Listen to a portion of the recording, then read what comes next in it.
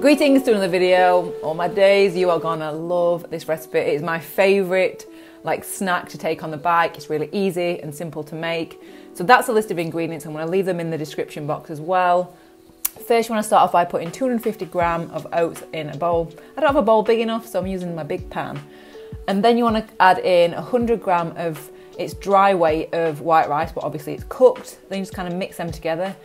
You can just use oats, you could just add more oats into this, but I like adding rice into it. Then you want to add in like a handful of sultanas or raisins, and then a little bit of cinnamon. And then I'm adding 100 grams of light brown sugar. You can add maple syrup or anything that you want really, just some kind of sugar.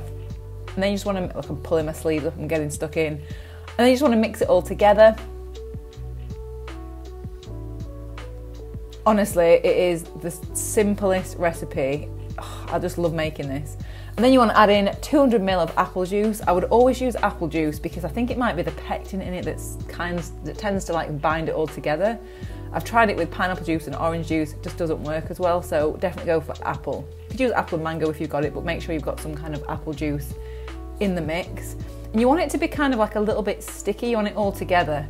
Um, oh, actually, strawberry jam as well. A tablespoon of that, strawberry or raspberry, whichever you prefer, that's just what I had in. So yeah, you want it to kind of like just stick together. You don't want it too liquidy, but you just want it kind of, as you can see there, just kind of a little bit sticky. And then you just want to line a oven-proof dish with some baking paper or like a pie dish or whatever you've got. Baking paper is very important in this though because it means that it's not going to stick so you can pull it out easily and then chop it up into nice little pieces. So use around two thirds of the mixture on the bottom and then you want to add in the frozen berries on top. Miss one little blueberry.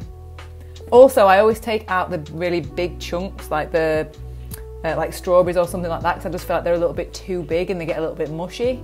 So yeah, and then I put the final third, there's probably more than a third there to be honest, the final rest of the mixture on top you can actually add sesame seeds or pumpkin seeds as well into this mixture. I just didn't have any in. I do quite like pumpkin seeds in it. So yeah, just make it all pretty. That's what it should look like. You want to chuck it in the oven for around 30 minutes at 220 degrees Celsius. I probably left this in a couple of minutes too long. You just want it browned on the top. Leave it to cool and then chop it up into nice little pieces. And honestly, once you try this, you're not gonna ever wanna buy shop bought again because these are just such simple ingredients and it's so cheap to make. You can freeze them, you can leave them in the fridge. I've had these probably last, I would say they last maybe three, I'd say three or four days. I know people are a bit funny with like rice and I've never had any issues with it. Um, but you can just make it purely with oats if you want to.